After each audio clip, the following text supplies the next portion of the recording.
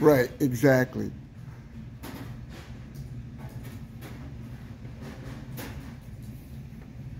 It's pop culture reference, I guess why some people in here very often.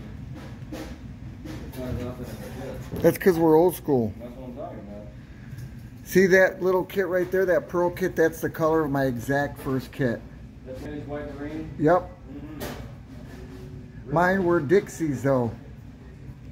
Dad, what's that?